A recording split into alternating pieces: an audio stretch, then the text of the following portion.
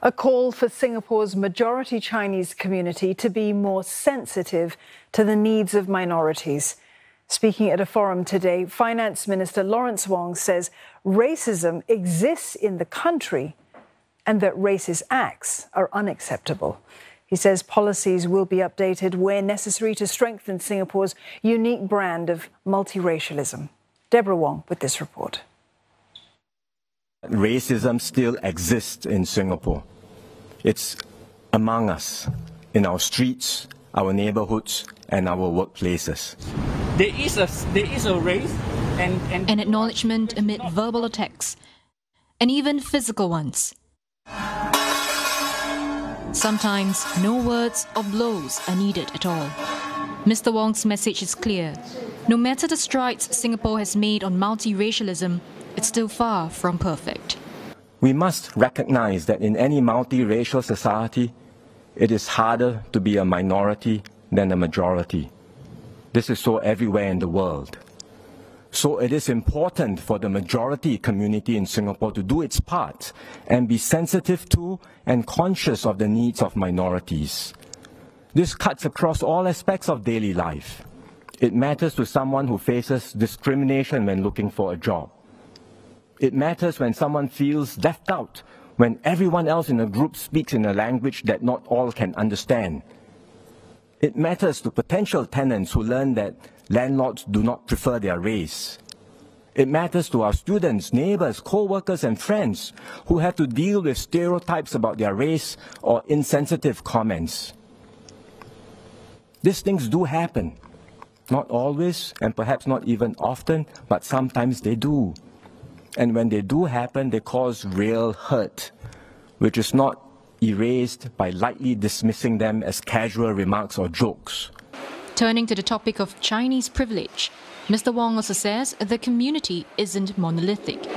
Even among them, there are those who also feel disadvantaged. We still have a whole generation of Chinese Singaporeans who are more comfortable in Chinese than English and who consider themselves at a disadvantage in an English speaking world. They feel they have already given up much to bring about a multiracial society. Chinese language schools, Nanyang University, dialects, and so on. What do you mean by Chinese privilege? They were asked. For they do not feel privileged at all. Naturally, many of them would object to being so characterized. Still, he says even when racism must be called out, discussions must find common ground and not to start arguments. Let me be clear. I'm not saying that we should refrain from voicing our unhappiness or that minority Singaporeans should pipe down about the prejudices they experience. On the contrary, we should be upfront and honest about the racialized experiences various groups feel and deal squarely with them. But we should not insist on maximum entitlements and rights for our respective groups, construe every compromise as an injustice that needs to be condemned, or put the worst interpretation on every perceived slight or insensitivity. Doing so will lead to a slippery slope to tribalism, hostility, and even identity politics. Instead, Singapore must steady the course with its own brand of multiculturalism. We do not devalue diversity, but we accept it and we celebrate it. Multiracialism in Singapore doesn't mean forgetting our separate racial, linguistic, religious, and cultural identities. Instead, it enjoins us to embrace our inheritances, respect those of others, and go beyond them to encompass a national identity and shared purpose. He says the country arrived at this point in history with much effort from previous generations. That is why race is a cornerstone in Singapore's constitution and policies. To put it simply, if race did not pose an existential challenge, Singapore would never have separated from Malaysia and we would never have become an independent sovereign state. But our founding leaders also knew that creating a Singaporean Singapore was not simply a matter of mouthing slogans. They knew we needed deliberate policies, carefully thought out safeguards, and resolute efforts to ensure that minorities would be protected, that the majority would not abuse its dominance, that bigots and chauvinists from whatever race would be constrained and curbed. Still, he acknowledges that these policies need to be refined as society's attitudes evolve. Our policies are not cast in stone. For any policy, be it GRC, EIP, self-help groups or SAP schools, we continually ask ourselves, what is it we are trying to achieve? Is the policy still relevant today? Can it be further fine-tuned or improved? And one current example is our review of Muslim nurses wearing the tudung with their uniform. This process of policy review entails detailed study and extensive dialogue between the government and our various communities. It cannot be rushed, nor should things be changed simply based on who shouts the loudest. Ultimately, he says any change must strengthen racial harmony while giving each group room to go about its way of life. We must have the humility to acknowledge our multiracialism is still a work in progress, the honesty to recognize that not everyone will want to move at the same pace, and yet persevere to protect our multiracialism, cherish it, nurture it, strengthen it. Then step by step, we can approach ever more closely to our ideal, one united people, regardless of race, language, or religion. At a later Q&A session, Mr. Wong also explained why it's important not to jump to conclusions too early when it comes to calling out so-called racist acts.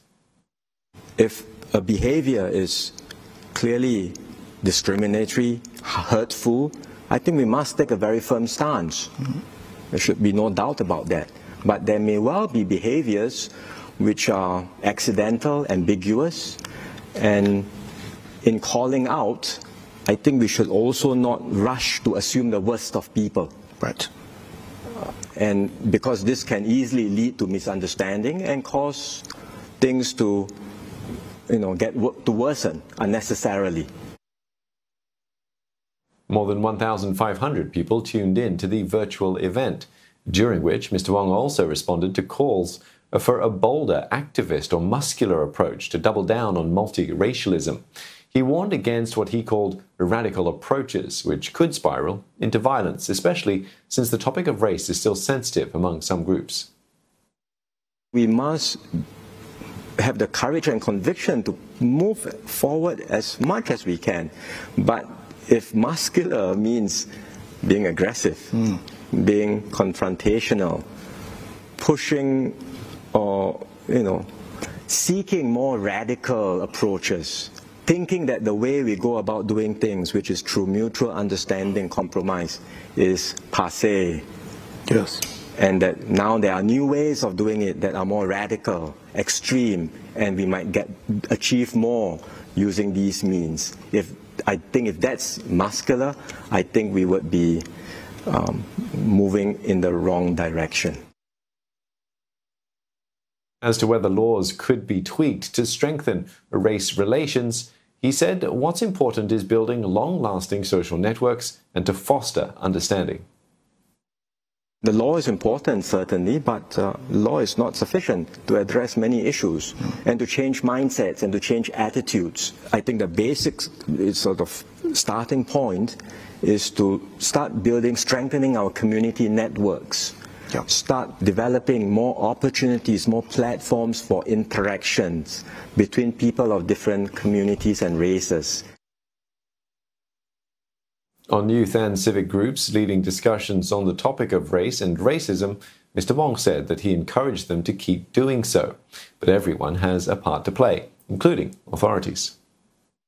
The government will you know, is committed to finding more, more platforms, more space, safe spaces where we can have these um, constructive dialogues and engagements. And we'll be very open to hearing from people what they think uh, their views are on how we can create more of such safe spaces, be it online or offline, face to face. Some of it can be done in closed doors, some of it can be done in an open dialogue like this. On whether Singapore would get to see a prime minister of a minority race, he said that person will have to mobilize people of all walks and lead the party to win elections. But he highlighted that a 2016 IPS survey showed that a significant proportion of Singaporeans preferred a prime minister of their own race. A minority who wants to be prime minister should be aware of these attitudes. It doesn't mean that he, or for that matter she, can't be a prime minister, but these are the realities on the ground. I should also say it doesn't mean that we should just accept these as attitudes and, as they are and say, fine, this so be it. We shouldn't accept these attitudes. We should instead work very hard to change them.